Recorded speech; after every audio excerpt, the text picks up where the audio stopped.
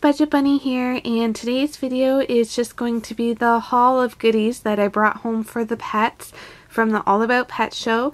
If you guys have watched my video that I uploaded this morning, then you would know that we went to the All About Pet show yesterday. It's Canada's largest pet showcase and it's held at the International Centre in Mississauga every year and it was our fourth year going and we had a great time. I think this year was actually their 20th anniversary of holding the pet show so um, that's really cool as well and every year it seems to get bigger and bigger. This year they'd also added on the world of horses and the world of fish so it was really really cool and um, I encourage you guys to go watch the video because it was a pretty neat day and it's something that I look forward to every Easter. So I didn't actually pick up too many things. I was pretty good this year. Um, but what I'm usually looking for are good deals or unique things that I don't usually find in the stores around us. So one of the things that we always make sure to pick up are these naturally shed elk antlers for the dogs. If you have larger dogs or dogs that are big chewers like us, I highly recommend these because they're antler. They're so tough and hard. Um, these last us months. So this was the extra large size that was $35 but I got to spin a wheel and they had different discounts and things on it. So we actually got um, 20% off and we did get two of them, one for each dog, but I couldn't get Murray to give up the other one for me for this video. So I just got this one here, but there are two. Um, so instead of $35 each, we paid 28 each.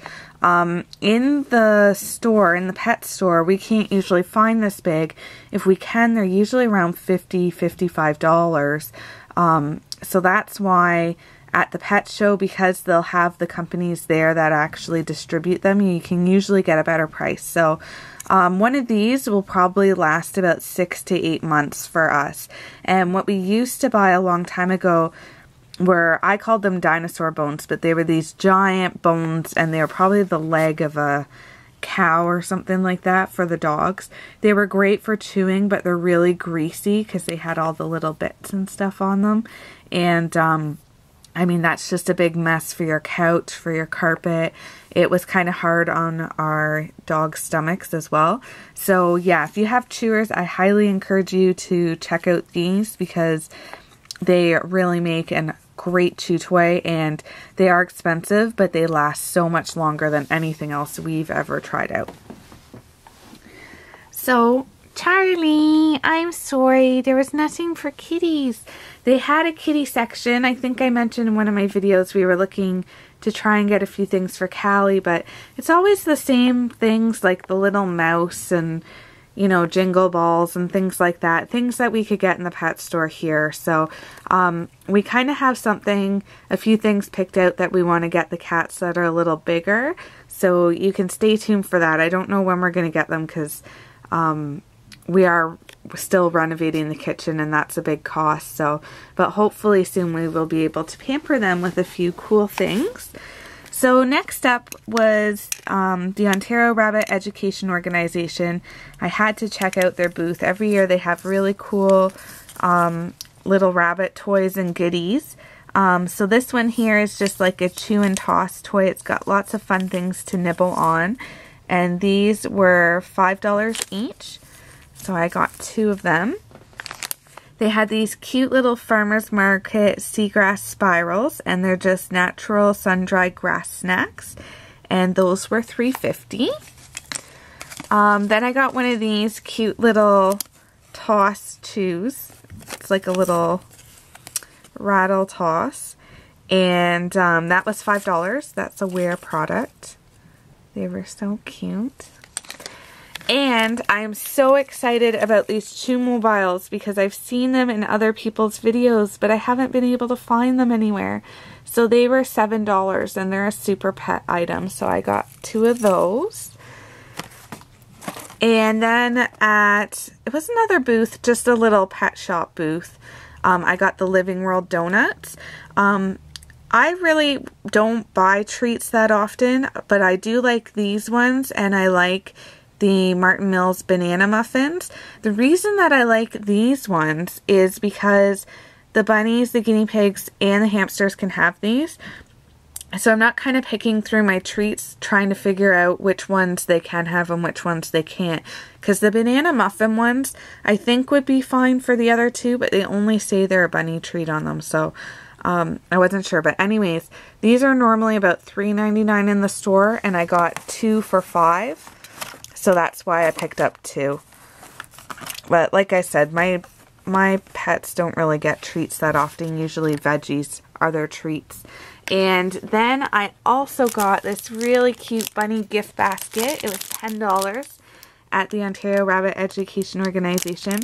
And it's just got like a willow bowl and a seagrass mat. Um, there's like a little willow treat from the Busy Bunny.